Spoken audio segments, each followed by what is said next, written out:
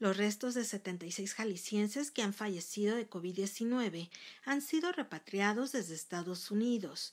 Las últimas cenizas que se trasladaron al estado corresponden a un hombre de 57 años de edad, quien radicaba en Nueva York y era originario de Quitupan.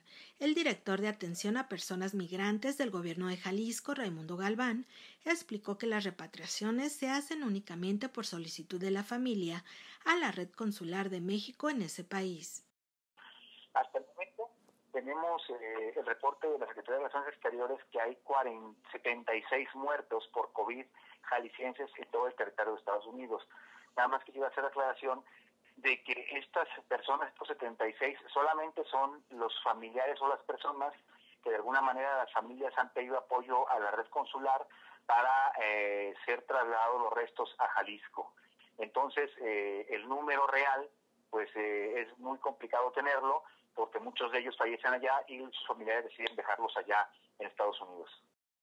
Los restos de los jaliscienses que han perdido la vida por el virus en Estados Unidos no en todos los casos son trasladados en cenizas, que es la opción recomendada para evitar riesgos de contagio. Las familias tienen la alternativa de hacer la repatriación del cuerpo, pero el proceso es más tardado y oneroso para poder cumplir con las normas sanitarias de Estados Unidos y a la vez de México. La Dirección de Atención a Migrantes ha brindado asesoría en 10 casos para hacer ese proceso.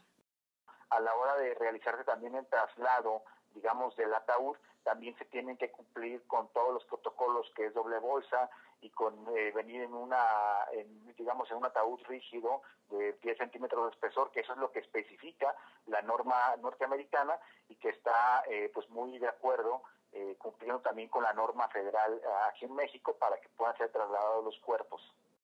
La Casa Jalisco en Chicago y las oficinas del gobierno del estado en Los Ángeles tienen guardias permanentes para apoyar a los jaliscienses en Estados Unidos, en el trámite de traslado de restos, en la actualización de documentación como actas de nacimiento que se requieren en caso de una defunción o en la solicitud del seguro de desempleo. Las familias de los inmigrantes pueden solicitar la ayuda desde Jalisco en el correo atenciónmigrantes.sgg.jalisco.gov.mx y los mails de atención en Estados Unidos son oficina Los Ángeles .sgg@jalisco.gov.mx y oficina chicago.sgg@jalisco.gov.mx. Señal informativa Georgina García Solís.